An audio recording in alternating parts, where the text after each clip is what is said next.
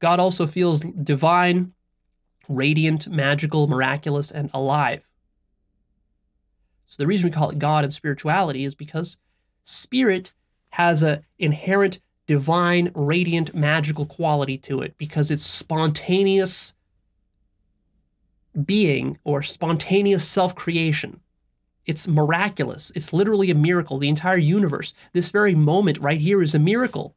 You've just become so jaded to it because you're so preoccupied with just living life pragmatically that you ignore the miracle that is life, the magic that is here, the divinity that's here.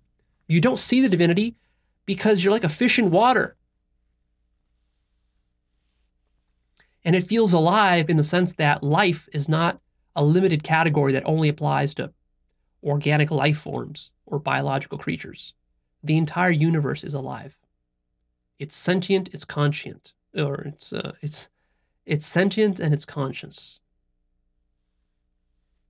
So when you realize that, that that radically reinterprets how you related to the universe. Because before that, you had a materialistic paradigm. Under the materialistic paradigm, you viewed most of the universe, except for creatures, you viewed most of it as dead, dead matter. But after the epiphany of God, you realize that it's not dead at all. It's alive. Everything's alive. Molecules are alive. The earth is alive. It's a much broader, more expanded notion of what life is. God also feels like not knowing. God feels like irreducible mystery. You might think that you're going to know God, but really you're not going to know God. You're going to not know God. Because, like I told you, you can't know God, you can be God. But to be God means you can't know it, precisely because knowing is a second order emergent or phenomenon of being.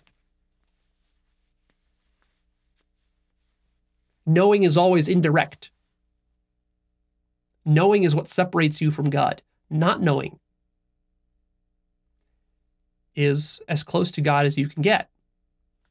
And see, this is the whole problem with the scientific paradigm is that science is always trying to explain and reduce away the mystery of existence. And the way it does that is by substituting some other object.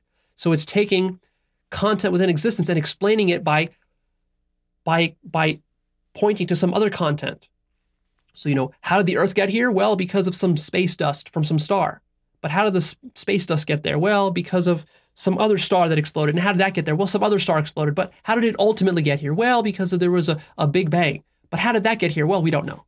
See? So science is playing this game of explaining one thing in terms of another thing until ultimately you take it to the big bang and then you just say, oh, well, forget about it. We can't really know. And then let's just go about uh, living an ordinary life. See, this is the whole game. The whole point of this tail chasing exercise that it never ends, it's infinite, but you're not realizing that it's infinite. And therefore, you're not realizing that um, that science ultimately doesn't explain a goddamn thing.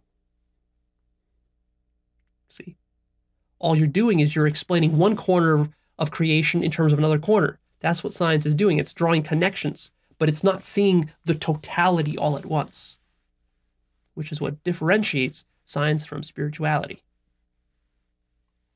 God also feels like the greatest moment of your life. For sure the greatest moment of your life. Nothing else comes close. And it feels totally life transforming.